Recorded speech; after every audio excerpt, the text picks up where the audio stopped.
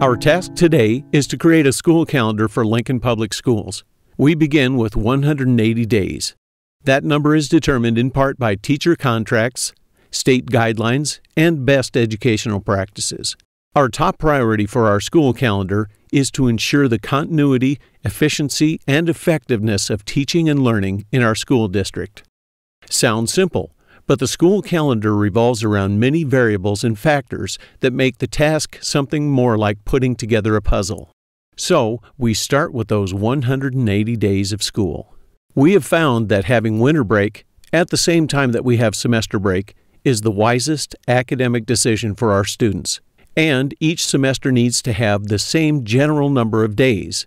This factor determines why school starts earlier in August and ends earlier in May than in decades past. Our next decision is to identify spring and fall quarters, also having roughly the same number of days. But there's more. Student vacation days should not interrupt instruction just prior to any major assessments.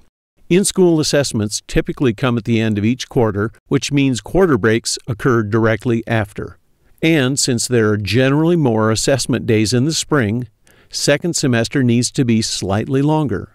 We attempt to avoid having short weeks of school. Again, it's not sound academically.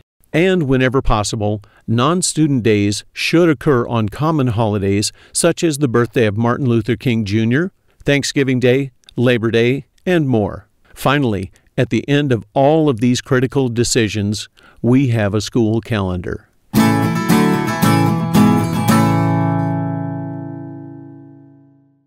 This has been a presentation of Lincoln Public Schools. A monthly programming guide may be found at www.lps.org.